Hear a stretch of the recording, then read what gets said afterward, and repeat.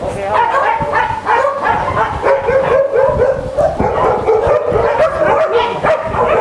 สวัสดีค่ะ ตอนนี้เรามาเจอกันที่คอกหมาพิการนะคะ นี่คือคอกหมาพิการของเรานะคะ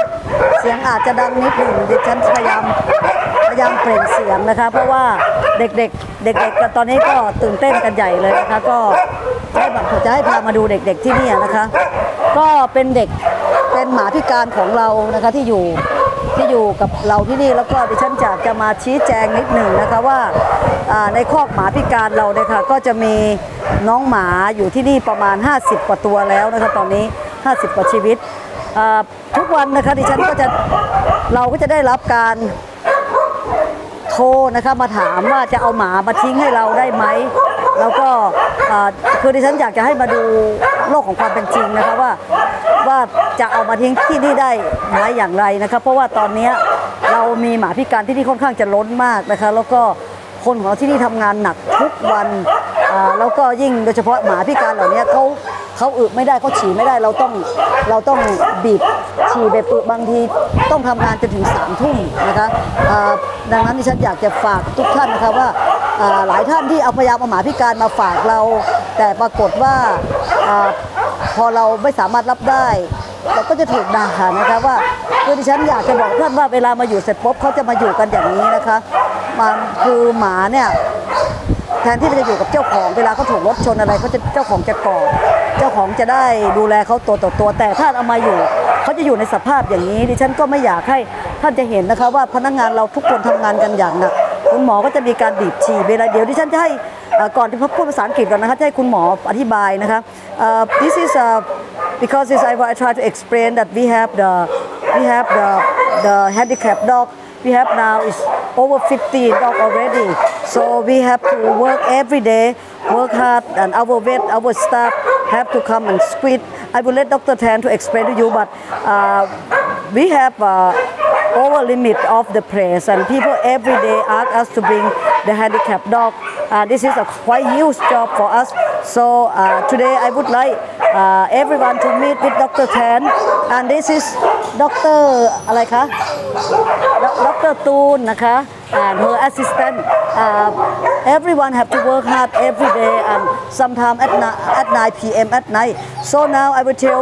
uh, I, ho- I would like Dr. Tan to go and explain every day what is we have to do with the work and sometimes we work very late and we have normally we have Chris and everyone here but now I want uh, Dr. Tan to go explain here Dr. Tan you can explain what's going on โอ here สวัสดีครับอาขอเริ่มต้นจากภาษาไทยก่อนละกันเนาะ ก็คือในปกติแล้วเนี่ยในในการดูแลน้องหมาพิการเนี่ยสิ่งที่ต้องปัญสิ่งที่ต้องทำและเป็นปัญหามาก ๆ ของน้องเขาก็คือ สิ่งที่เกิดขึ้นเนี่ยก็คือภาวะบีบอ่าภาวะฉี่ที่เขาเรียกว่าบางตัวมันจะค้างไว้ หรือบางตัวมันจะค่อยๆ หยดออกมานะครับกับอีกอันหนึงก็คือมีลักษณะแผลกดทับนะครับโอเค I will talk about the the, the problem of the disabled dog the uh, two things that's very important for the disabled dog is about the urine uh, some some dog has the urine distension and some dog has incontinence with the in, the UB so the thing that we have to do every every day in the morning evening and at night or and uh, in, the midnight also we have to make express for example, expect for the, the, the urine to out because it's gonna be it's like make suffer for the for, for the for the disabled dog in in case of the this uh, distension of the UB. But some yeah, you can see when uh, when, when when we have to do it, we have to a little bit of complex and then we can find the the U the UB or u- urinary bladder and you can see ah if you can notice the you, you will see the, the urine out three or four times a day สามถึงสี่ครั้งต่อวันทูในการที่จะเอาฉี่ออกนะครับ โอเค it's out อ่า สุนัขบางตัวมีปัญหาไม่เหมือนกัน มันจะมีบางตัวที่เป็นลักษณะของแผลกดทับค่อนข้างเยอะ เหมือนทั้งในคนและเหมือนทั้งในคนเหมือนกันเนาะ ตรงพวกนี้ก็เราจะต้องมีการทำแผลกระตุ้นการสร้างเนื้อตลอดเวลานะครับ The best sore or compression wound is also happen in in the dog that we have to manage the the the, the wound I will let show, I will show you for one dog has the uh, the wound yeah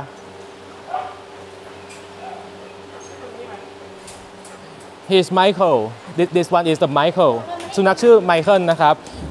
เก็บได้จากข้างทาง the, the stray dog uh, the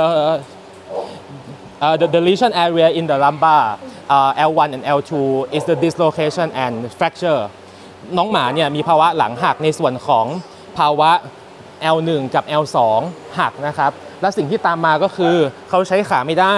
เขาจะต้องแบบกดทับตรงนี้ตลอดเวลานะครับ กดทับกับพื้น ดังนั้นก็จะทำให้เกิดแผลขึ้นมาได้นะครับ This is the compression wound in the dog that uh, cannot to use the, the, the leg and then bed sore happen and then we have to manage every day and every time หมอหมอควบคุมการขับถ่ายไม่ได้ด้วยใช่ไหมอะไรนะฮะ ควบคุมการขับถ่ายไม่ได้ด้วยใช่ไหม ใช่ครับ He cannot control uh, about the defecation and urination น้องกลัวกล้องเหรอหรือยังไงอ่าอ่าอ่าไมเคิลไมเคิล โอเคโอเคโอเคโอเคโอเค แป๊บหนึ่งนะครับไมเคิลไมเคิลแป๊บเดียวว่าไม่ได้รักษาง่ายๆเห็นไหมครับว่า ก็ก็เออต้องทำทุกตัวเลยอ่าภาพอาจจะรุนแรงนิดนึงนะครับอะโอ้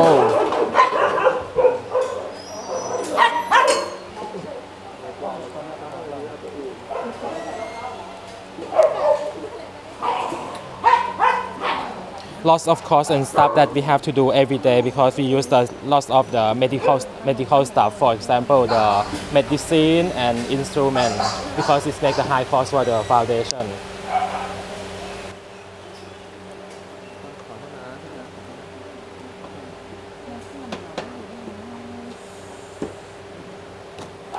Because it, uh, in the in the west in the western area, lots of dog in the spinal spinal fracture and luxation, eh, they also uh, make a euthanize or put them to sleep because it's gonna uh, worse and make the bed sore or lots uh, lots of problem. But in the foundation here, we treat it like one life. Uh, they have they should have a chance to live their life you can see. Actually, the first, at the first time or initial stage, we found that uh, the wound very big, and then we can see the the, the bone, the the, uh, the the bone of the leg. But now, when we make the wound clean or manage every day and put some uh, medicine to stimulate the the, the wound, now uh, the tissue is produced a lot, and then it's nearly to be healed completely. คือแผลในกรณีของสุนัขที่เป็นไขสันหลังเอ้ย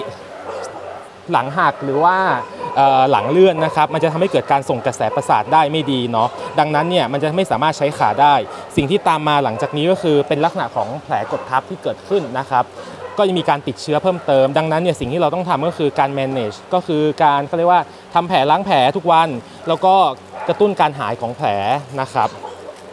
สองสิ่งแล้วเนาะที่ผมได้อธิบายไป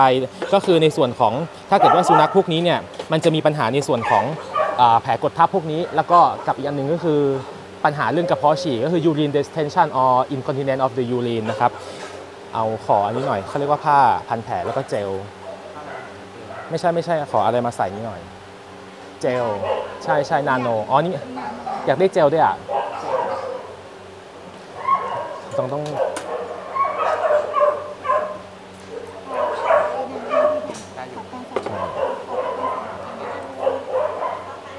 we put spray for antibiotics ให้ใส่สเปรย์สำหรับป้องกันการติดเชื้อ แล้วก็ใส่เจลสำหรับกระตุ้นการสร้างเนื้อนะครับ this is a gel for uh, we use the gel for stimulate the tissue formation and then produce the skin more and more and then we have to do it every day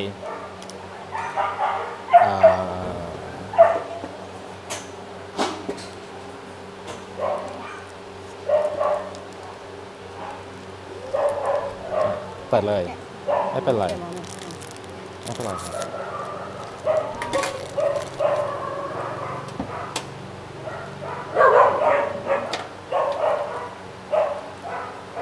One more thing that we found uh, when the dog uh, has the cannot control the urine and uh, the feces. Uh, in some dog, it's uh, the, the urine and the feces out of the body all the time and then make it dirty in, in on the floor and then uh, it's gonna make the the wound dirty. Some uh, this wound and dirty and more uh, susceptible or more sensitivity to infection. So it's gonna make uh, the make it's gonna make the the wound worse every day. Then we have to concern about it.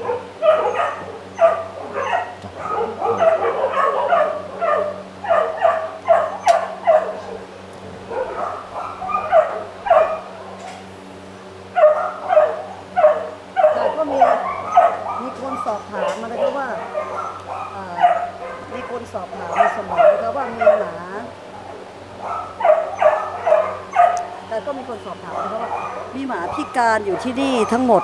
50 กว่าตัวเนี่ยเราทำอะไรบ้าง ถ้าจะเห็นนะคะว่าทุกวันเนี่ยคุณหมอต้องมาเปลี่ยนผ้าเราเราไม่สามารถให้ขาเข้าเน่านะคะ ก็จะมีการเปลี่ยนผ้าทำงานหนักกันบีบฉี่บางทีก็ใส่ผ้าอ้อมนะคะผ้าอ้อมต้องมีทุกวัน แล้วก็มีปลาสเตอร์อย่างเงี้ยค่ะ ก็บางทีเราก็ได้รับการบริจาค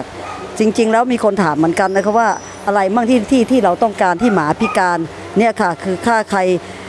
ไม่ว่าใครก็ตามที่ไม่ว่าโรงงานอะไรก็ตามนะคะที่มีปลาสเตอร์ที่ใกล้จะหมดอายุหรือว่าหมดอายุแล้วนะคะอ่าที่ศูนย์หมาพิการของเรายังต้องการเพราะเราใช้ทุกวันค่ะ เรื่องอย่างปลาสเตอร์ อย่างเนี้ยค่ะคุณหมอเขาเรียกปลาสเตอร์อะไรคะ Uh, อิละ elastic bandage ครับใช่ elastic bandage อย่างเงี้ยนะคะใครมีใกล้จะหมดอายุหรือหมดอายุไปแล้วนะคะเราอ่าถ้าท่านโรงงานของท่านอยากจะ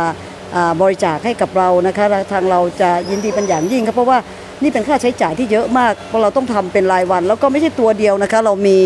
อ่าเรามีเยอะมากทุกแทบทุกตัวใช่ไหมคุณหมอที่เพราะว่าใช่แล้วเป็นครับแผลกดทับอะไรต้องเราต้องทำทุกวันแล้วเป็นค่าใช้จ่ายที่เยอะมากนะคะ โดยเฉพาะหมาพิการ 50 กว่ากว่าตัวเนี่ยมันเป็นค่าใช้จ่ายที่ที่ค่อนข้างจะสูงมากนะคะดิฉันอยากจะฝาก กับทุกท่านนะคะว่าถ้าใครมีก็สามารถที่อ่าเรายังอยากรับบริจาคเป็นจำนวนมากนะคะคุณหมอนะคะใช่แล้วก็ครับแม้กระทั่งผ้าอย่างเงี้ยนะคะเราอ่าเราต้องการเยอะมาก เพราะว่าน้องหมาเนี่ยฉี่ควบคุมฉี่ตัวเองไม่ได้ ควบคุมอึตัวเองไม่ได้ ยิ่งเป็นอย่างหลังหักเนี่ยเราไม่สาเขาไม่สามารถควบคุมต้องตัดขนตรงนั้นได้ไหมคุณหมอตัดขนให้หน่อยได้ไหมคะขอน้องตัดขนรอบๆตรงนั้นได้ไหมคะไม่สวยไม่เป็นไรค่ะขอตัดขนน้องก่อนค่ะอ่า I just uh, it's every day the people ask us what uh, what is the budget at the at our foundation. This is the budget especially for the dog. Every day we have to treat them and everything we have to pay especially uh, we have uh, uh, we have uh, 50, over 50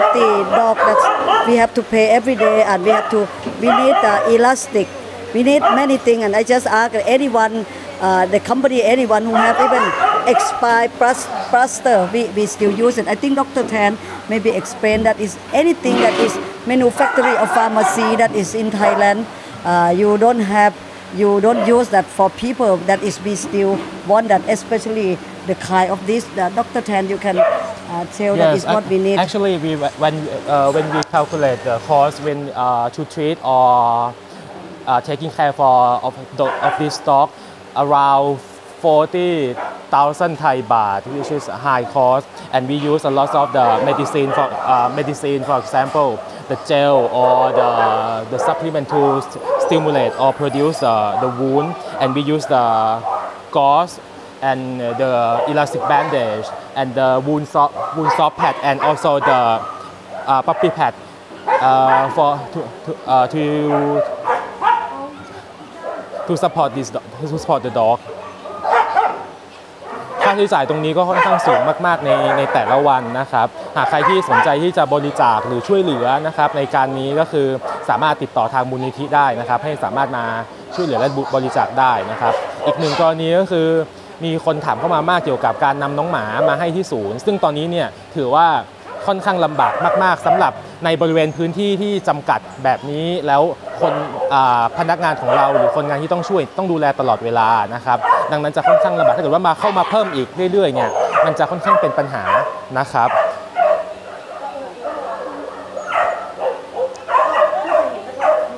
ทำให้มันมันลื่นเพราะว่ามันง่ายกับกับหมานะคะเดี๋ยวหนูจ๋านี่แล้วก็ท่านจะเห็นนะคะว่าเราก็จะทำความ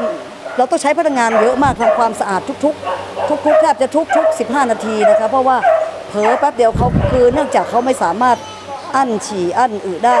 เราต้องทำพื้นให้สะอาดตลอดเวลาก็พนักงานจะต้องพนักงานที่มาอยู่ที่นี่ต้องมีความอดทนเป็นอย่างสูง ก็ต้องทำความสะอาดกันตลอดนะคะแล้วก็พอทำความสะอาด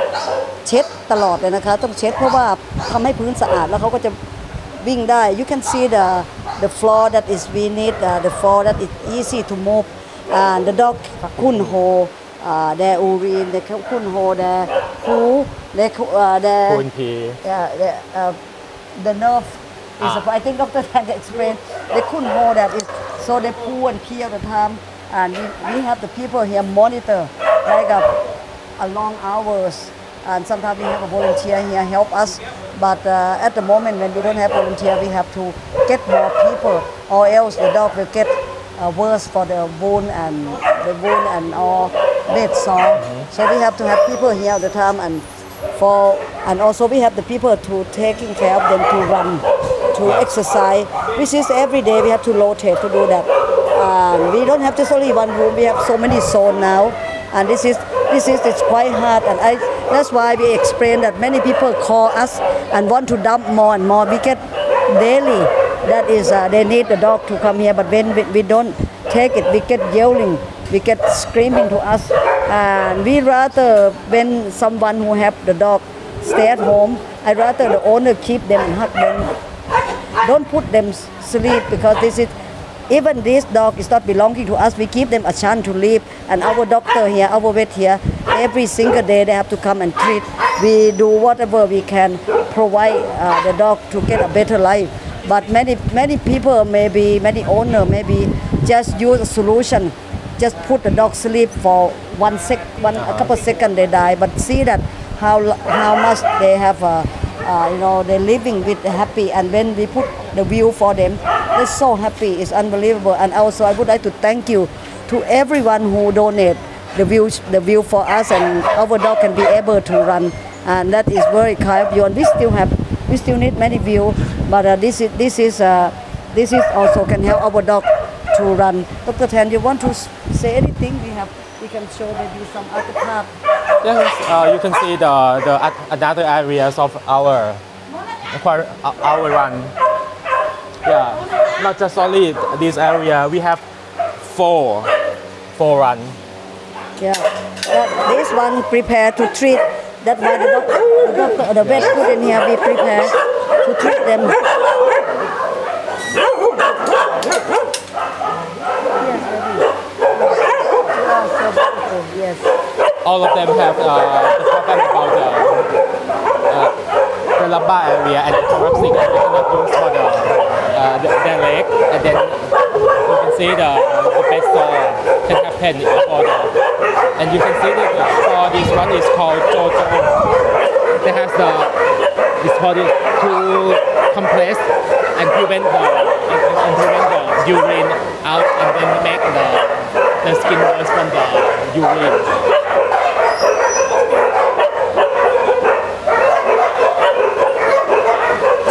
มาค่อนข้างจะต้องแบบมีฉี่เล็ดตลอดเวลา ดังนั้นเนี่ยเราต้องมีการดูแลตลอดเพื่อไม่ให้ปัสสาวะไหลเปื้อนกับ นังของน้องเขานะครับ แล้วถ้าเกิดว่า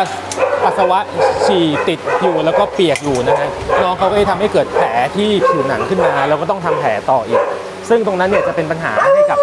ผิวหนังของน้องเขาในระยะยาวนะครับ อันนี้เป็นล็อตล่าสุดนะคะ คุณหมอที่เราช่วยมาแบบเน่าเลยนะคะท่านท่านจะเห็นนะคะนี่คือล่าสุดที่เราช่วยมาจากลบบุรีนะคะ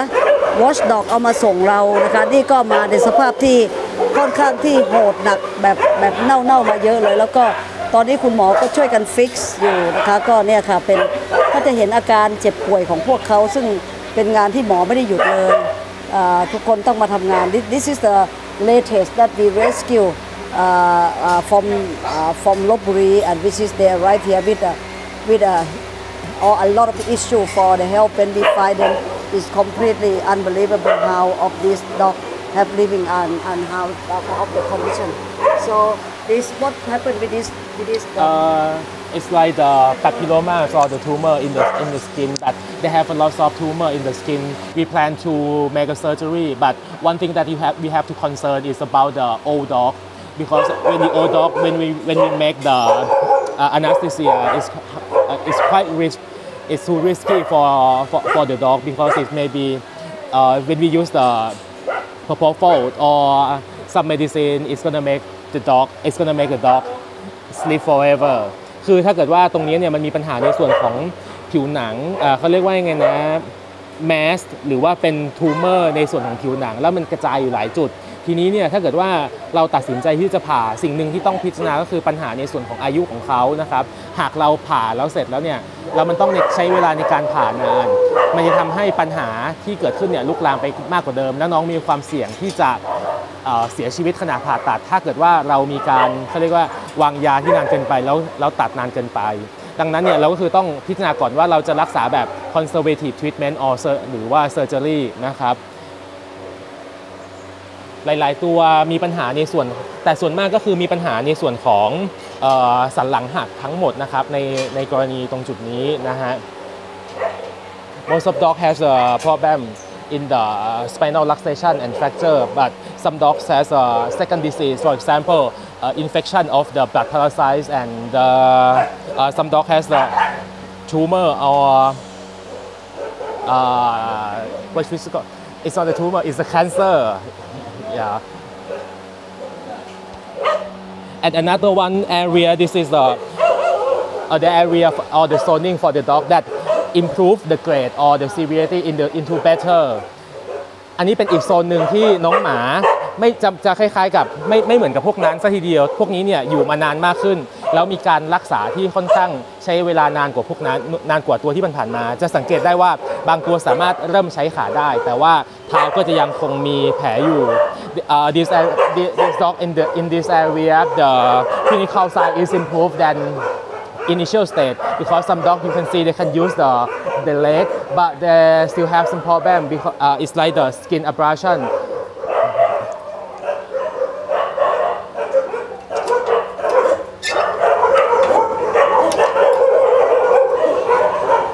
อะเข้ามาก่อน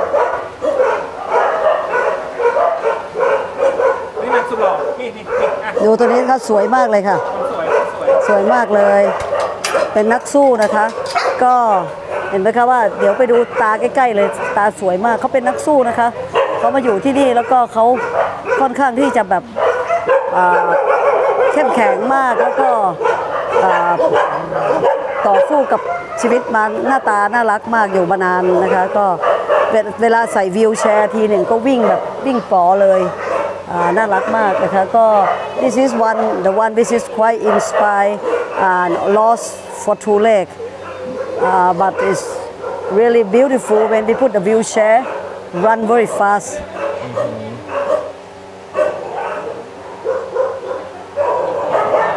ส่ว นมากเกิดจากอะไรอ่าอ่าหมอโดยมากเกิดจากรถอ่าเมื่อกี้ถามมีคนสอบถามมานะครับ ว่าส่วนมากของสุนัขเหล่านี้เกิดจากอะไรหลักๆ เลยในประเทศไทยนะครับ 95%เกิดจากรถชนนะครับอ่าอันดับ 2 ที่ตามมาก็คือเกิดจากสุนัขกัดกันเอง แล้วก็เกิดปัญหาทำทำร้ายด้วยกับเจ้าของทำร้ายก็มีค่ะอ่าจ้ของเกิดที่หลังเกิดจากปัญหาการกัดการตามมานะครับ อันดับ 3 ที่เราเจอกันบ่อยๆคือ การทำร้ายของมนุษย์ กับสัตว์นะครับ หรือเจ้าของทำร้ายเป็นต้นนะครับ The most cause of the spinal fracture in and luxation in Thailand mostly is uh, hit by car or car crash. Uh, loss of loss of a dog has uh, th- this event, and the second one is uh, animal fight between the animal, and they go- gonna make uh, luxation or bit luxation. But the important thing that we found, uh, the owner or people or someone hit at the back of the dog and then make the fracture and luxation ซึ่งณตรงนี้เนี่ยมันค่อนข้างที่จะน่าสงสารมาก ๆ กับน้องหมาเหล่านี้นะครับ ฉะนั้นก็คืออาจจะต้องร้องขอแล้วก็ขอความเห็นใจจากหลาย ๆ คนผู้ดูแลรักษาสัตว์นะครับว่าอย่าได้ทำร้ายสัตว์กันเลย เนื่องจากว่าน้องเขาต้องมีชีวิตอยู่อย่างยากลำบากต่อไปนะครับ แต่ที่นี้เนี่ยบางตัวที่มาในตอนแรก น้องเขาจะมีสภาพจิตใจที่ค่อนข้างหวาดกลัวและหวาดระแวงนะครับ some dog very scared and excited to be here and then uh, we have to use the time and then we have to use the uh,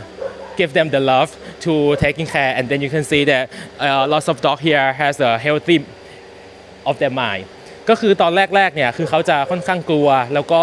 หวาดกลัวกับสิ่งต่างๆอย่างนี้จะไม่มีสุขภาพจิตที่ดี แต่ถ้าเกิดว่าเราสามารถเลี้ยงเขาได้เขาเรียกว่าดูแลเขาให้ดี น้องทุกตัวก็คือแบบสามารถมีชีวิตอยู่ที่มีสุขภาพจิตที่ดีได้ แล้วก็สามารถเข้ากับคนได้ง่าย ๆนะครับ แล้วการรักษาก็จะเริ่มง่ายขึ้น เพราะว่าถ้าสุขภาพจิตดีเนี่ยร่างกายทุกอย่างจะเริ่มมีการตอบสนองได้ดีมากขึ้นตามลำดับนะครับ แต่ถือว่าค่อนข้างเยอะเนาะเพราะว่าตอนนี้เนี่ยพื้นที่มันค่อนข้างจำกัดละเนื่องจากมีคนนำน้องหมามา ให้เรื่อยๆ ทั้งในบางส่วนเนี่ยในหลายๆ ครั้งติดต่อเข้ามาเอง หรือบางครั้งเนี่ยเอามาโยน เอามาทิ้งไว้ที่หน้าหน้าประตู คือทางเราก็ต้องแบบรับเข้ามาดูแลนะครับ อาจจะต้องขอความเห็นใจจากตรงนี้จากหลาย ๆ ท่านให้ให้เขาเรียกว่าถ้าเป็นไปได้ดูแลถ้าสามารถดูแลน้องเขาได้ก็คืออาจจะต้องรบกวนให้ขอให้ดูแลก่อนนะครับเนาะ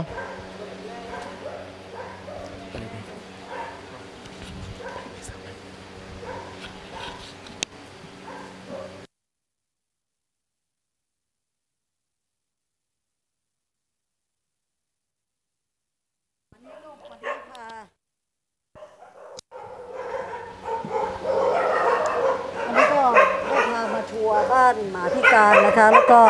คุณหมอก็จะได้มาได้อธิบายแล้วค่ะเรื่องว่าเราพวกเรามีความดูแลกันยังไง รักษากันยังไงกว่าคือหลายครั้งหลายครั้งคนไม่เข้าใจนะคะว่าอขอเอาหมามาอยู่กับเรา แล้วพอดีเรารับไม่ได้ ก็มีการด่าทอโวยวายว่าทำไมเรารับไม่ได้ทำไมไม่รับดิฉันอยากจะฝากกับทุกท่านนะคะว่าเราอยากจะรับค่ะเราหัวใจเราเนี่ยมีมีที่อยู่เต็มที่แต่ ที่อยู่จริง ๆ ของหมาไม่มีนะคะถ้าถามว่าพวกเราอยากรับไหมเราอยากจะรับทุกทุกทุกชีวิตเราไม่อยากให้ให้น้องหมาต้องถูกพุทสลีปเพราะหลายคนจะใช้วิธีพอแก้ไขปัญหาไม่ได้ แต่ดิฉันอยากจะวิงวอนทุกท่านนะคะว่าเราเลี้ยงเขาวันหนึ่งเขาไม่คงไม่อยากพิการหรอกแต่เนื่องจากว่าเขาอะถ้าเกิดว่าเขาถูกรถชนหรือว่าเป็นอะไรมาเนี่ยแน่นอนค่ะเขาเขาก็ยังอยากจะมีชีวิต แต่เขาก็ไม่อยากจะมาอยู่จบบั้นปลายชีวิตมาอยู่ที่ shelter ของ ของที่นี่นะคะเพราะดิฉันบอกถึงแม้ว่าเราจะดูแลดียังไง มันก็ไม่เหมือนกับอยู่ที่บ้านท่านที่ท่านต้องกอดเขาให้เขาอยู่จนถึงบั้นปลายชีวิตสุดท้ายของท่านแล้วในอย่างอย่างบางบางที่บาง shelter เนี่ยไปรับมา แต่ไม่ได้ดูแลเลยปล่อยให้หมา แบบอยู่ในอาการอยู่ในการแบบเน่ามาก แล้วก็ตอนหลังมาดิฉันอยากจะฝากนะคะดิฉันเรื่องนี้ก็อยากจะพูดเหมือนกันให้กับสังคมได้รับรู้ว่ามี shelter เยอะมากค่ะที่ไปรับหมาพิการมา แล้วพอรับมาใหม่ ๆ ก็ไปเอา ไป fundraising หรือไปขอบริจาคเรี่ยไร แต่หลังจากนั้นไม่นานหลาย ๆ shelter เหล่านี้ก็แอบเอามาโยนที่ที่ของเรานะคะ แล้วก็หลายหลายคนที่ฉันไม่อยากจะประจานนะคะ เอาใช้วิธีเอามาวางไว้หน้าหน้าศูนย์เราเลยนะคะแล้วบางทีเราจับได้เราจับจากกล้องวงจรปิดได้ เราตามไปถึงรู้ว่ารถคันนี้มาจาก shelter พอสืบไปสืบมาเราก็รู้ว่าพวกคุณรับหมามาแล้วก็คุณก็ไปเรี่ยไรเงินบริจาคพอเสร็จแล้ว พอ ข่าวมันซาคุณก็มาโยนทิ้งให้กับเรา อย่างนี้มันไม่ถูกค่ะดิฉันอย่าคิดว่าการที่เรารักสุนัขแล้วนะถ้าจะเอามาโยนทิ้งกับเรา หรือหลายที่นะครับมีหลาย shelter เลยที่โทรศัพท์มาหาเราดิฉันอยากจะฝากบอกกับท่านนะครับว่ามูลนิธิของเรานะครับไม่ได้รับการดูแลจากรัฐบาล เราไม่ได้รับเงินช่วยเหลือ แต่เราอยู่ได้เงินบริจาคของคนรักสัตว์ที่เขามาช่วยเราอะนะคะ ดังนั้นดิฉันเข้าใจอยู่ค่ะว่าท่านอยากจะฝากหมาพิการแต่ท่านต้องคิดในหลายปัจจัยว่าหนึ่งปัจจัยที่ท่านเอามาเนี่ย หมาถ้าเป็นหมาของท่านเขาต้องการอยู่กับท่านนะครับ เรื่องที่สองก็คือเชลเตอร์ไหนก็ตามนะครับท่านรับไม่ได้ ท่านอย่าไปรับแล้วรับแล้วท่านท่านเอาเงินจากคนที่เมตตาสัตว์อีกไม่นานท่านท่านพอท่านก็ไม่เหลียวแลเขาทิ้งให้เขาอยู่เน่าๆอย่างนั้นมันไม่ได้นะคะ ท่านต้องดูแลเขาให้ถึงที่สุด แล้วดิฉันต้องขอกราบขออภัยทุกท่านนะคะที่ดิฉันตอนนี้ที่มูลนิธิเราอะอ่ามันไม่มีมันไม่มีบุคลากรนะคะคุณหมอดิฉันพูด ตรงๆนะคะว่าเราทั้งเราขาดทั้งบุคลากรเราขาดทั้งยา ตอนนี้เราช่วยกันอย่างเต็มที่นะคะอย่างเงี้ท่านเห็นไหมคะว่าบางทีเขาทะเลาะกัน เราต้องมีคนประจำเลยค่ะ แล้วท่านจะเห็นนะคะว่าตอนกลางคืนท่านเห็นไหมคะตอนกลางวันเขาทะเลาะกันทำไมเราถึงต้องเก็บอย่างนี้ตอนกลางคืนตอนคือเราต้องเก็บไว้ค่ะเพราะว่าพนักงานเราต้องหลับค่ะเพราะงั้นเรากัดเราตื่นเช้ามา เขาจะกัดกันท่านเห็นนะคะว่านี่คือการที่เราเก็บเขาไว้ตอนกลางคืน นที่เขาจะอยู่บ้านแล้วก็อยู่กับพ่อแม่กอดท่านปล่อยเข้ามาอย่างเงี้ยเราก็ต้องเก็บเขาไว้ตอนกลางคืนนะคะเพราะเพราะฉะนั้นหมามันกัดกันเราตื่นเช้ามา บางทีหมาถึงพิการมันก็ดุอยู่นะคะ มันก็ยังดุบางทีมันอาจจะทะเลาะกันตอนกลางคืน ดังนั้นสิ่งที่เราจะทำก็คือตอนคืนเราต้องเก็บเขาเขาเรียกเราเรียกว่าเตียงลอยใช่ไหมใช่คะครับหมอเนี่ยค่ะเตียงลอยครับค่ะแต่คุณหมอจะอธิบายเพิ่มเติมอย่างนี้ไหม อ่าใช่ทุกอันนี้คือแม่เล็กพูดไปถูกต้องแล้วนะครับ ก็คือเราต้องมีการมีคนมาประจำเพื่อที่จะแยกเขาเวลาเขากัดกัน หรือเกิดเหตุฉุกเฉินอะไรต่างๆนานา ทั้งในช่วงกลางวันและก็กลางคืน เราก็ต้องมีคอยมีคนคอยมอนิเตอร์เขาตลอดนะครับ ค่ะ ดังนั้นเนี่ยเวลาถ้าเกิดว่าคนต้องไปนอน เราก็ต้องแยกเขามาอยู่ในในชั้นลอยแบบนี้ เพื่อให้เขาแยกออกจากกันเพราะบางครั้งมันต้องทะเลาะกันกัดกันมาแล้วตอนเช้าก็ต้องเป็นแผลอีกนะครับ ค่ะ ก็ต้องทำแผล ซึ่งอันนี้มันเป็นการดูแลที่ค่อนข้าง เหนื่อยอยู่พอสมควรหนักเนื่องจากคนเหนื่อยมากเราค่ะเนื่องจากคนเราน้อย ถ้านับคนอยู่ก็ประมาณ 5-6 คนนะครับค่ะถ้ารวมๆทั้งหมดทั้งผู้ช่วยนะครับหนักมากค่ะแล้วใช่ฮะดังนั้นเนี่ยก็ขอความวิงวอนจากเหมือนที่แม่เล็กบอกเมื่อกี้ว่าได้โปรดเธออย่าอย่าได้เอามาให้ให้ทางศูนย์อีกเลยนะครับ จริง ๆ เราอยากรักษาให้ทุกตัวนะครับ อยากดูแลแต่ว่าพื้นที่เราน้อยและบุคลากรเราขาดจริง ๆ นะครับ Uh, I just explained that is so many people want to take the handicapped dog to us, and but uh, we we have here very limit of the staff and also medicine and also the uh, shelter. And sometimes the dog are fight. So at night you can see that we have the bed here. We have to put them separate, or else we come we come back in the morning. They will have a big cut, and then we have to treat with uh, non-stop. It never end. So we have to do that, but it's, that is not we want to do. We want them to uh, stay with with owner and hug them and look after them. and so that's why uh, our staff, our volunteer that come all the time to look after at night, and sometimes some of them uh, need to pee, and they have to squeeze the pee, or else they will get so much pain when they couldn't help themselves to pee. So that is, I just want to let you know that so many of the dogs, they need affection, they need hug, they need to stay home, and I can't be here to hug them every day because I have so many animals to taking care.